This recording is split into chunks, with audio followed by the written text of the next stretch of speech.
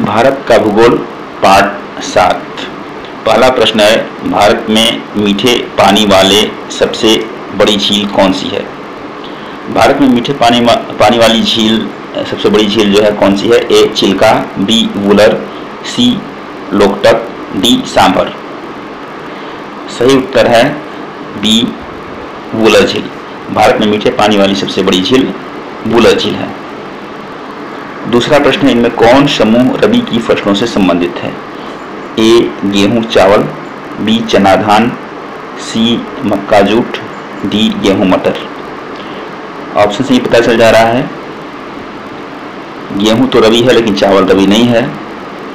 चना रबी है, लेकिन धान रबी नहीं है। तो सही उत्तर है डी गेहूँ और मटर रबी की फ़सल है। रबी फ़सल, जैसे गेहूँ हुआ, चना, मटर, मसूर, जौ, आलू, सरसों, अलसी। रबी फ़सल की विशेषता क्या है? यह अक्टूबर, नवंबर में बोई जाती है और मार्च, अप्रैल में काट ली जाती है। अगला प्रश्न है, इनमें से कौन समूह खरीफ की फ़सलों से संबंधित है? ए, आलू, मटर, सी, जूट, कपास, बी, जौ, चना, डी, मसूर, गेहूँ। ए आलू रबी है, इसलिए हो नहीं सकता है। सी जूट और कपास बी जौ चना ये जो है, रबी फ़सल है। मसूर रबी है, गेहूँ रबी है। तो जूट और कपास जो है, खरीफ की फ़सल है। खरीफ फ़सल जून जुलाई में बोई जाती है और अक्टूबर नवंबर में काट ली जाती है। जैसे धान हुआ, मक्का जूट ज्वार, बाजरा, मूंग, सोयाबीन, मूंगफली, उड़द, ये सब जो है खरीफ फ़सल के उदाहरण हैं। चौथा प्रश्न है डिस्कोमान उपलब्ध कराती है? ए, किसानों को खाद और बीज, बी, कृषि उपकरण, सी, ऋण, डी, सिंचाई की सुविधा। विश्वमान किसानों को खाद और बीज उपलब्ध कराती है, ऑप्शन ए। पांचवा है, गेहूँ का टोकरा किस प्रदेश को कहा जाता है? बिहार को, पंजाब को मध्य प्रदेश को अथवा हरियाणा को, सही उत्तर है पंजाब को। गेहूँ का टोकरा किसको कहते हैं? पंजाब को। छठा प्रश्न है, दवा उद्योग किस प्रकार का उद्योग है? ए, आधारभूत उद्योग, बी, संयुक्त क्षेत्र उद्योग, सी, हल्का उद्योग, डी, उपभोक्ता उद्योग। दवा उद्योग जो है, सीधे उपभोक्ता उद्योग, डी।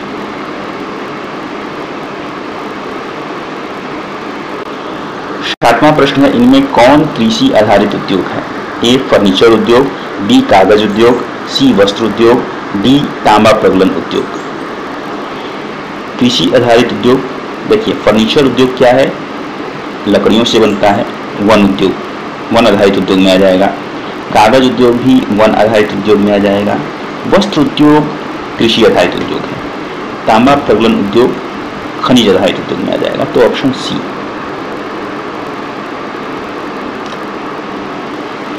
आठवां भद्रावती लौह इस्पात उत्पादक केंद्र किस राज्य में है? झारखंड में, तमिलनाडु में, कर्नाटक में, छत्तीसगढ़ में? ऑप्शन सी सही है, भद्रावती लौह इस्पात उत्पादक केंद्र जो है, कर्नाटक में स्थित है। नौवा प्रश्न है, टाटा लौह इस्पात केंद्र जमशेदपुर की स्थापना किस वर्ष की गई थी? 1910 में 1905 में 1917 में या 1907 में? ऑप्शन डी 1907 ईस्वी में। टाटा लॉ इस्पात केंद्र जमशेदपुर की स्थापना जमशेद टाटा के द्वारा की गई। दसवां प्रश्न, बोकारो स्टील लिमिटेड, बीएसएल, किस पंचवर्षीय योजना के तहत लगाया गया? बोकारो स्टील लिमिटेड को बोकारो लौह इस्पात उद्योग केंद्र के नाम से भी जानते हैं। पहली, दूसरी, चौथी या पांचवी, बोकारो स्टील लिमिटेड या बोकारो लौह इस्पात उद्योग केंद्र को चौथी पंचवर्षीय योजना के तहत लगाया गया। ऑप्शन सी सही है। ग्यारहवा प्रश्न, बोकारो लौह इस्पात उद्योग केंद्र की स्थापना किस देश के सहयोग से हुआ था? तो सीधा उत्तर सोवियत संघ के सहयोग से। रसिया, जो कि तत्कालीन सोवियत संघ था, उसके सहयोग से बोकारो लौह इस्पात उद्योग केंद्र की स्थापना चौथी पंचवर्षीय योजना के तहत की गई। बारहवा प्रश्न है, सेलम लौह इस्पात केंद्र किस राज्य में है? तमिलनाडु, कर्नाटक, झारखंड या केरल? ये ऑप्शन तमिलनाडु सही है लौह इस्पात के क्षेत्र में एक भारत सरकार का सार्वजनिक उपक्रम है SAIL S A I L steel authority of India limited, इसका फुल फॉर्म है। इसके तहत बोकारो, भिलाई, दुर्गापुर, राउरकेला सेलम की इकाइयाँ आती हैं।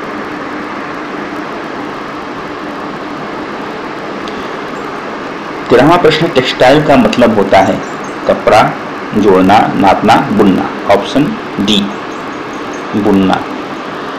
भारत में कपड़े की मिल सबसे पहले कहाँ लगाई गई?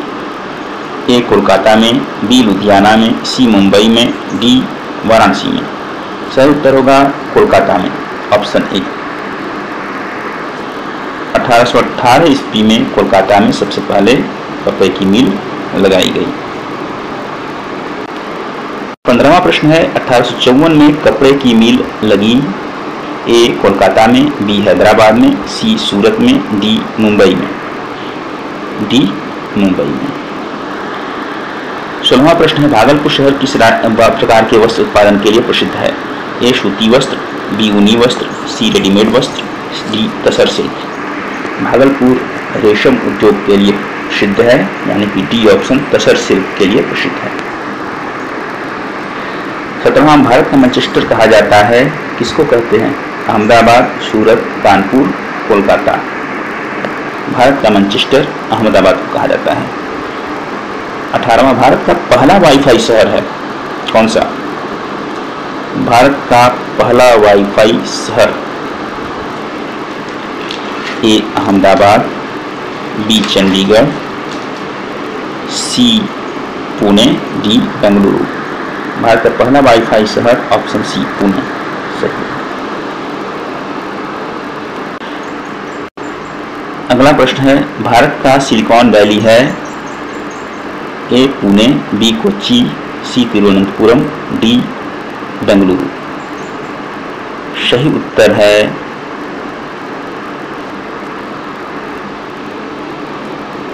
भारत का सिलिकॉन वैली, बेंगलुरु को कहते हैं। उन्नीसवा प्रश्न है, सॉफ्टवेयर कंप्यूटर के अंतर्गत है एक प्रोग्राम, एक पुर्जा चैनल विद्युत आपूर्ति उपकरण। सॉफ्टवेयर एक प्रोग्राम है। ऑप्शन ए, बीसवा, गार्डन सिटी किस शहर को कहते हैं? दिल्ली को, मुंबई को, बेंगलुरु को या पुणे को? गार्डन सिटी बेंगलुरु को कहते हैं। ऑप्शन सी इक्कीसवा प्रश्न है, भारत में एक्सप्रेसवे की शुरुआत कब हुई? उन्नीस सौ चौहत्तर ईस्वी, दो हज़ार एक ईस्वी, या दो हज़ार चार ईस्वी, या दो हज़ार ईस्वी? देखिए, अहमदाबाद बड़ोदरा एक्सप्रेसवे की नींव उन्नीस सौ चौहत्तर में रख दी गई। कतिपय कारणों से जो है यह इसका परियोजना उलझते चला गया और वर्ष 2000 में के बाद जो है यह पूर्ण हुआ। तो इसका सही उत्तर होगा। भारत में एक्सप्रेसवे की शुरुआत उन्नीस सौ चौहत्तर में हुई। अगला प्रश्न है, भारत में सर्वप्रथम जनगणना किया गया। ए, उन्नीस सौ इक्यावन ईस्वी, बी, अठारह सौ बहत्तर ईस्वी, सी, अठारह सौ इक्यासी ईस्वी, डी, अठारह सौ इक्यानवे ईस्वी। भारत में सर्वप्रथम जनगणना अठारह सौ बहत्तर ईस्वी में किया गया। व्यवस्थित जनगणना अठारह सौ इक्यासी ईस्वी में शुरुआत हुई। लेकिन सर्वप्रथम जनगणना अठारह सौ बहत्तर ईस्वी में तेईसवा प्रश्न, बिहार का न्यूनतम जनसंख्या घनत्व वाला जिला कौन सा है? A, Banka, B, Buxar, C, Kaimur, D, Rohtas. न्यूनतम जनसंख्या घनत्व वाला जिला है कैमूर। इसका जनसंख्या घनत्व है चार सौ अट्ठासी। व्यक्ति प्रति वर्ग किलोमीटर। चौबीसवा प्रश्न है, बिहार का सर्वाधिक जनसंख्या वाला जिला कौन सा है? A, Patna, B, Sheohar, C, Gopalganj, D, Bhagalpur. सही उत्तर है, शिवहर। छोटा जिला है, लेकिन जनसंख्या घनत्व काफ़ी ज़्यादा है। यहाँ करीब अठारह सौ बयासी व्यक्ति प्रति वर्ग किलोमीटर रहते हैं। बी ऑप्शन सही है, यहाँ कितने लोग रहते हैं? अठारह सौ बयासी व्यक्ति प्रति वर्ग kilometre.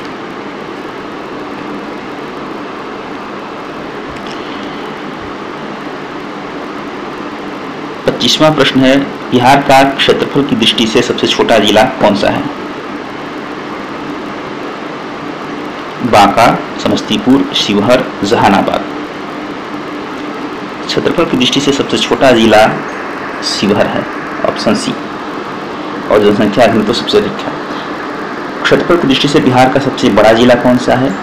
Patna B Purnia C पश्चिमी चंपारण, डी भागलपुर। क्षेत्रफल की दृष्टि से बिहार का सबसे बड़ा जिला है पश्चिमी चंपारण। ऑप्शन सी सही है।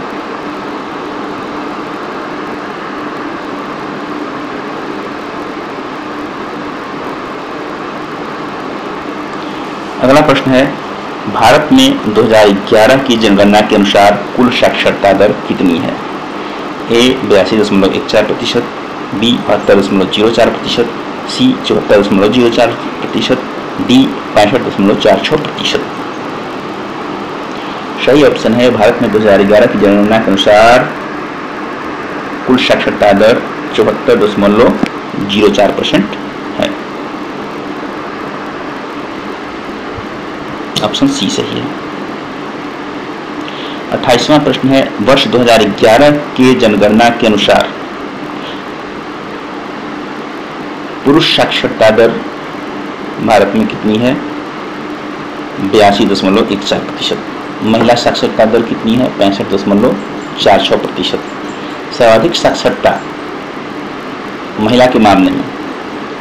सर्वाधिक महिला साक्षरता वाला राज्य केरल है इक्यानवे दशमलव नौ आठ प्रतिशत।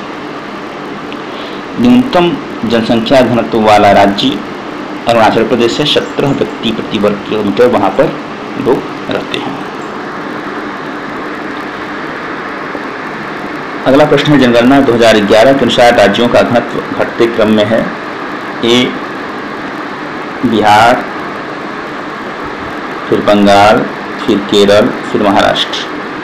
B, Bihar, Bengal, Kerala, Uttar Pradesh. C, Bengal, Bihar, Uttar Pradesh, Maharashtra. C, Bengal, Bihar, Haryana, Uttar Pradesh. तो राज्यों का घनत्व घटते क्रम में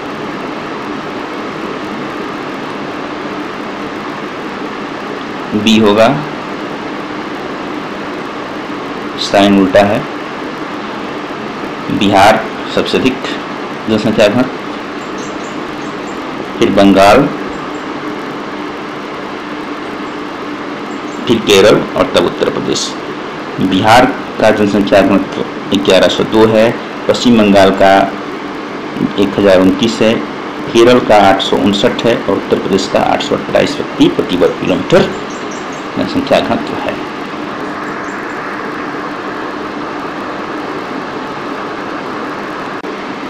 ये रहा जनसंख्या घनत्व। बिहार का ग्यारह सौ दो। पश्चिम बंगाल एक हज़ार उनतीस। केरल का आठ सौ उनसठ व्यक्ति प्रति वर्ग किलोमीटर। उत्तर प्रदेश का आठ सौ अट्ठाईस व्यक्ति प्रति वर्ग किलोमीटर। हरियाणा का पाँच सौ तिहत्तर व्यक्ति प्रति वर्ग किलोमीटर। और तमिलनाडु का पाँच सौ पचपन व्यक्ति प्रति वर्ग किलोमीटर। अगला प्रश्न है, वर्ष 2011 की जनगणना के अनुसार बिहार का साक्षरता दर कितना है? बासठ दशमलव एक चार प्रतिशत, चौंसठ प्रतिशत, अड़सठ प्रतिशत या छप्पन प्रतिशत? वर्ष 2011 की जनगणना के अनुसार बिहार का साक्षरता दर है चौंसठ प्रतिशत, ऑप्शन बी सही है। बत्तीस, बिहार में सर्वाधिक साक्षरता वाला जिला कौन सा है? शिवहर, पटना, रोहतास या कैमूर? सर्वाधिक साक्षरता वाला जिला जो है सी रोहतास है। यहाँ कितना प्रतिशत लोग साक्षर हैं? पचहत्तर दशमलव पाँच नौ प्रतिशत।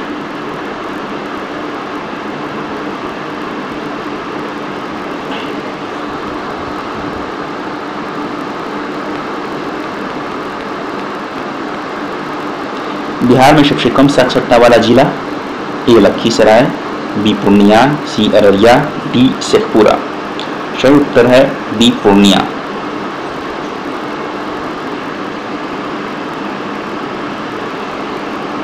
यहाँ का साक्षरता दर है बासठ दशमलव चार नौ परसेंट। इस तरह यह सबसे कम साक्षरता वाला जिला है बिहार का, पूर्णिया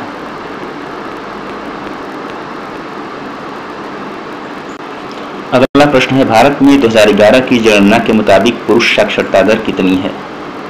चौहत्तर दशमलव ज़ीरो चार, पैंसठ दशमलव चार छः इक्यानवे दशमलव नौ आठ, बयासी दशमलव एक चार। पुरुष साक्षरता दर है बयासी दशमलव एक चार, ऑप्शन टी भारत में 2011 की जनगणना के अनुसार महिला साक्षरता दर क्या है? तिरपन दशमलव तीन तीन, पैंसठ दशमलव चार छः तिहत्तर दशमलव तीन नौ या डी बारह दशमलव चार नौ। भारत में दो हज़ार ग्यारह की जनगणना के अनुसार महिला साक्षरता दर पैंसठ दशमलव चार छः प्रतिशत है। अगला है, न्यूनतम साक्षरता दर महिला के मामले में वाला राज्य। न्यूनतम महिला साक्षरता दर वाला राज्य कौन सा है? A, Rajasthan, B, Bihar, C, Haryana, D, Punjab. Rajasthan सबसे न्यूनतम महिला साक्षरता दर वाला राज्य है। बावन दशमलव छ छ प्रतिशत यहाँ लोग साक्षर हैं।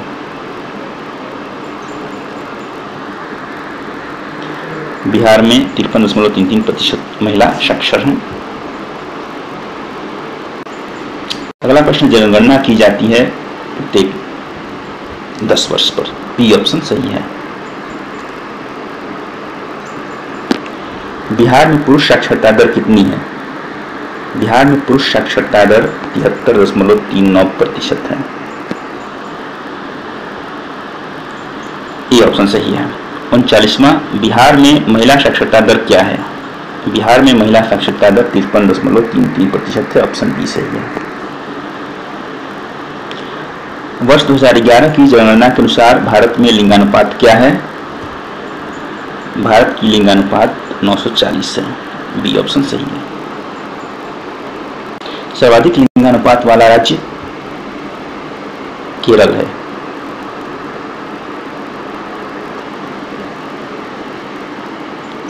केरल का लिंगानुपात एक हज़ार नवासी महिला प्रति हज़ार पुरुषों पर है। बिहार में लिंगानुपात है 916 महिलाएँ प्रति हज़ार पुरुष पर। बिहार का सर्वाधिक लिंगानुपात वाला जिला है गोपालगंज, पटना, भागलपुर, मुंगेर। ए ऑप्शन सही है गोपालगंज। सर्वाधिक लिंगानुपात वाला जिला है।